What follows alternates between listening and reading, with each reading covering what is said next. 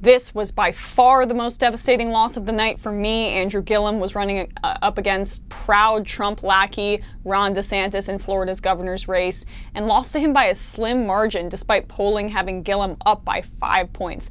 Gillum also had an incredibly strong debate performance against Ron DeSantis and ran a really progressive populist campaign during the primary, which he kind of did away with during the general election. Uh, I'll get more into his loss in a second, but here's what happened. Ron DeSantis was elected governor of Florida on Tuesday, handing President Trump an important victory and extending the Republican Party's dominance in the nation's third largest state. Mr. DeSantis, a 40 year old former congressman, fended off his opponent Andrew Gillum, one of the strongest candidates Florida Democrats had fielded in years. Republicans have now won every election for governor since 1998. Mr. DeSantis pledged to choose constitutionalist judges.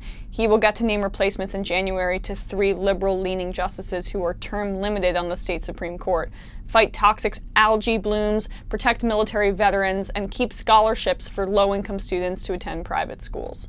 It's also important to note that as of this morning, um, Gillum is closing the lead. He has officially conceded, but that doesn't really mean anything. So if the votes do turn around, I mean, there's 99% of the vote total in. I still think it's very likely that DeSantis wins this could change, but uh, as of now, DeSantis has won and it's looking very likely that he will win. So here are my first reactions. Firstly, when I was reporting on Trump rallies down in Florida, I could feel the palpable enthusiasm for DeSantis and Trump at these rallies. I mean, De- DeSantis was uninspiring as it gets, but he was linked to Trump and people were for it. And a lot of people at these rallies weirdly said that the environment was their top concern, the algae blooms, uh, as uh, the New York Times just mentioned there. And many were unhappy with the way that Rick Scott, who's now going to be a senator, had dealt with it.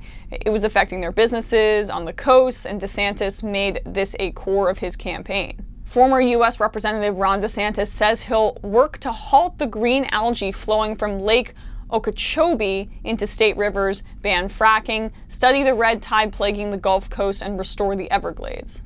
Look, I know this may be shocking to some people, and who knows if DeSantis will ever follow through with this. I mean, he's a staunch conservative in the House who has followed Trump's EPA deregulation in lockstep and refuses to mention climate change at all. But at its core, he addressed economic anxiety in Florida, and that's connected to the environment here. So that resonated with people. I know it's hard to believe, but my sense is that that was a cornerstone of why he won from what I spoke to uh, when I spoke to people down there.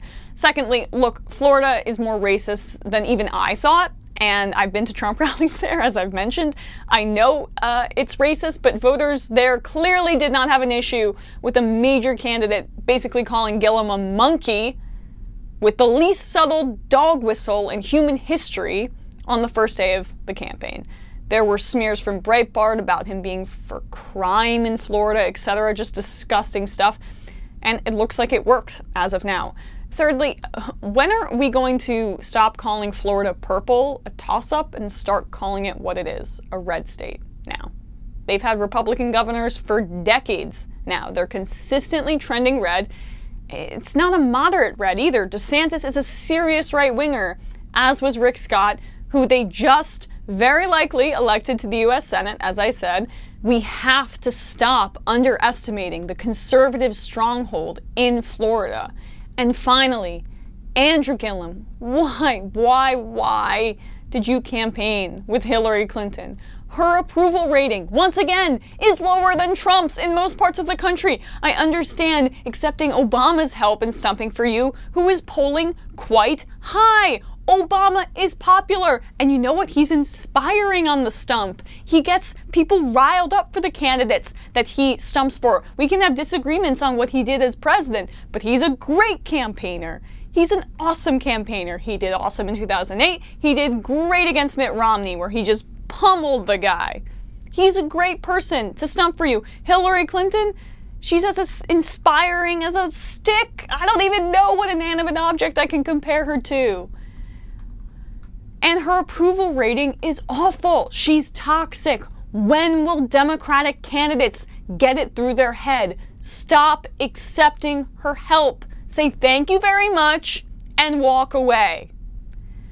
This was an incredibly frustrating race. I am terrified, terrified that DeSantis will gerrymander the entire state so that Republicans will take the state of Florida, including the Electoral College and presidential races, so thoroughly that a Democrat will never win in Florida again. That really could happen. He will increase voter suppression. He will not do anything to address systemic inequality. But you know what? There is one silver lining. I promise you. Amendment 4 passed in Florida. Ex felons who will be able weren't able to vote before, they'll be able to vote now, excluding murder, sex offenses, etc. Just people who were likely drug offenders. That is a small victory in a sea of bad ones in the state of Florida.